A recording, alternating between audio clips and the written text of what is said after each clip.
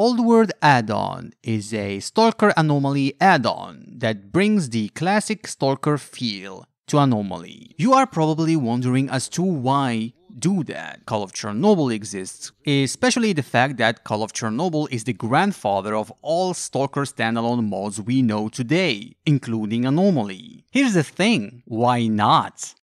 Old World add-on offers a lot of changes in terms of balancing, atmosphere, and progression. Especially items. A lot less items Anomaly. However, the main highlight is the weapons and combat. This is not a 101 port from the classic Stalker games. It's more of a improved version based off the full reanimation weapon pack. You are probably asking what's the difference between this version and the classic vanilla weapons. The key difference here being not only the weapons are facing the correct way, they are also using animations from different weapon packs, for example the original weapon renewal. I've never understood quite why the devs went with the left-handed version of the weapons, probably Counter-Strike influence.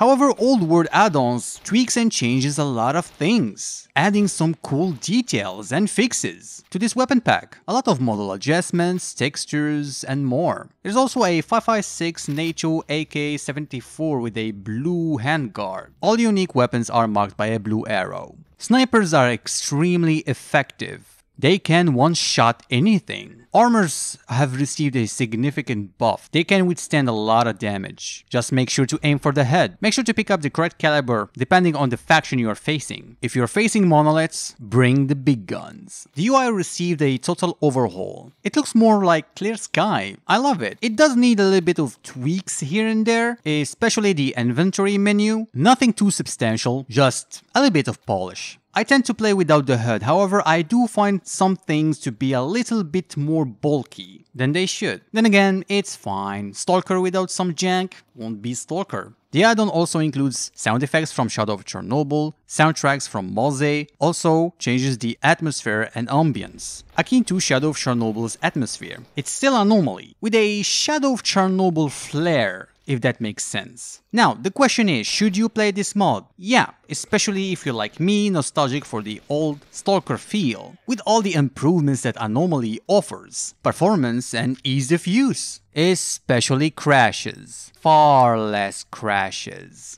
Think of it as a snapshot. What if Call of Chernobyl was ported over the Anomaly engine? Or something similar to Shadow of Chernobyl was made on the engine, except it's free roam. That being said, Old World is not compatible with the vast majority of add-ons available for Anomaly. The main reason being the file structures. I'm not going to dive too deep into the modding aspect here, however, if you have some technical know-how, it's pretty easy to adapt anything you want. See you next time, inshallah. Сегодня сидим себе спокойно, водочку кушаем, а завтра уже переться куда-то надо.